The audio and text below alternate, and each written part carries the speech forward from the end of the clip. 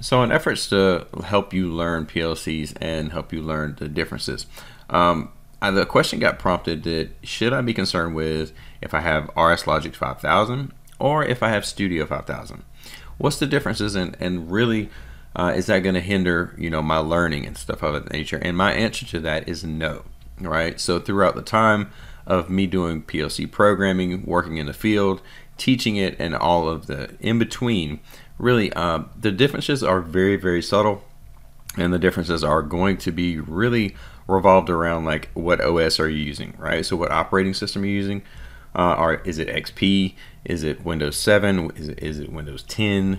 Um, and Rockwell's kind of progressed just like Windows has, right? However, they kept their fundamentals the same exactly exact way. So it's a very it's not so hard to learn as if you know transitioning from Windows XP to like Windows 10. That would be a hard transition. However, the Rockwell software is very simple to transition. I'm going to show you both of these, right? I have both of them pulled up. So I have RSLogix 5000 pulled up, and I have Studio 5000 version 32 pulled up.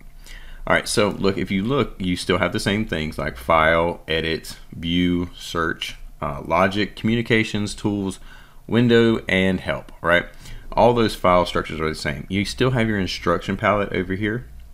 So the instruction palette is re really wherever you want to customize and put it, right? Um, but uh, in that effort, they are defaulted in the same location. Uh, you do have your controller information over here.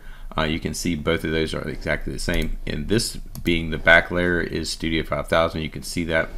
Um, now, what I am going to do is make a test program. I'm going to show you this, right? So I'm going to build a test program. It's going to be an emulator. It's not a big deal. We're just going to call it test and we'll call it program. So we're going to show you the difference right here. And what I'm going to do is I'm going to make a dummy program right here and I'm going to export something from my Studio 5000 version 32 uh, into my, uh, this is going to be a uh, RSLogix 5000 version uh, 20. Right, so this is going to show you that it really doesn't matter as long as you have and understand um, the principles behind it. That's the real key to learning PLCs is the principles and fundamentals that you learn behind it. So for example, let's just show you this. I'm going to come over here. I'm going to export a whole uh, program, right? I'm going to export a whole program, not the task. I could actually export the task, but I'm going to do a whole program. So we'll come over here and we'll do that. We'll export and we'll export down to here. And let's just do this to uh, the PC and let's do this to like uh, Let's do downloads. Okay, so we'll export the downloads. As you see, the export actually came down and it shows where it exported and it was successful. Right, so uh, basically you would have got a warning or an error message if you didn't. Now let's go ahead and add that into our other program, right? So we're going to go to the task level because again we made a program. So we're going to import a program and we're going to point it to the exact spot where we exported.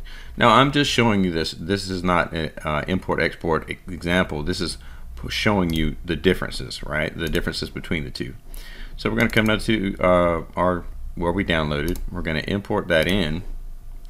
And as you see, this is going to be the exact same ladder logic that you see in RSLogix 5000 It's going to be the exact same ladder logic you see inside of Studio 5000. Okay, so when I pull this up, if I pull up the example right here, you can see this ladder logic is the exact same ladder logic that is in this one right here. So if you looked at these, they're exactly the same.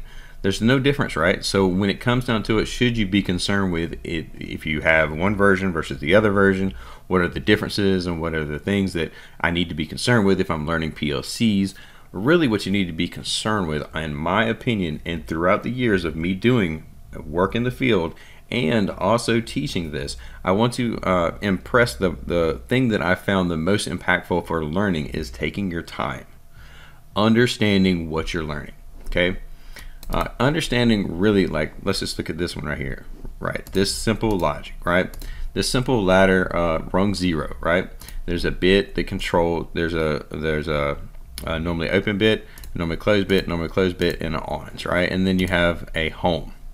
Now, this is motion instructions, right? So it's a slight bit different, but I want you to understand the impact. If I was teaching you motion impact or motion instructions, right? Then I want you to understand how the functionality of that motion instruction work, right? I would want you to understand how the bits work in conjunction with that, how the flow of operation works, so that you understand the outcome. And the real gist of it is don't try to overwhelm yourself. Don't try to watch too many videos at one time. Watch a little bit each day, right? Watch one video a day or two videos a day or whatever's not over, you know, uh, it's not too much uh, information overload or it's not boring you because again we all you know watching videos can be quite daunting sometimes. So I, what i recommend is just like right here same exact logic. I would recommend if, if you see me build it on a program or if you see me build it inside of a, a video then you take and open up your instance whether it be studio 5000 or whether it be rock or the the RSLogix 5000 go ahead and build the same program, right? Do it for the muscle memory behind it and do it to make sure you understand the way that instruction or that functionality or that theory of operation that I'm teaching at that current time is easily passed on. So I recommend to break up that watching the video and then like watch a video and then in in the video actually do the project at the same time, right? So build it or either take a break, right? Whatever you want to do. Um, if you want to watch the videos and just take a break because you don't have you don't want to build it, I highly recommend building uh, and going through and building the logic yourself because again, when it comes down to it, you can see and understand how the process works. All right, you're going to get a more uh, build a more of a muscle memory behind it, right? What did you do before? What are you learning, and how is your comprehension of that learning, right?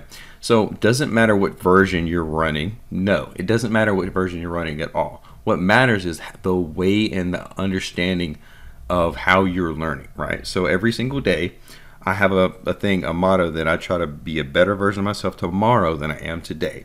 And that requires me learning something new every single day. And with that said, whether it be a small, you know, step forward or a big step forward, that's completely up to, you know, how I feel that day or completely up to, you know, myself or my motivation for that day. We all have days where we're just not there and we all have days where we are there. So when it comes down to it, you know, you know, when you're watching the videos, don't overwhelm yourself. Just take it step by step, video per video, implement what you're learning no matter what version you're running, right? Implement it, like make the logic, right? Build it out yourself, but just go ahead, take your time, and learn the way the fundamentals are. Even if you don't uh, like have an emulator to run it, even if you don't have a way to actually simulate the logic, go ahead and build it anyway because it builds up that muscle memory, right? It builds up the comprehension of what you're doing when you're learning PLC programming. So with that said, I just wanted to, to the question was prompted, doesn't matter which version I'm on, or does it matter if I have Studio 5000 or if I have Rockwell's um, um, RSLogix 5000? Honestly, it doesn't matter which one you have, doesn't matter which version you're on. You're going to learn and be impactful. You're going to grow and get a, be a better version of yourself tomorrow than you are today. As long as you keep pushing forward each and every day. So again, uh, hopefully that was helpful. And again, with all that said, we'll see you guys on the next one.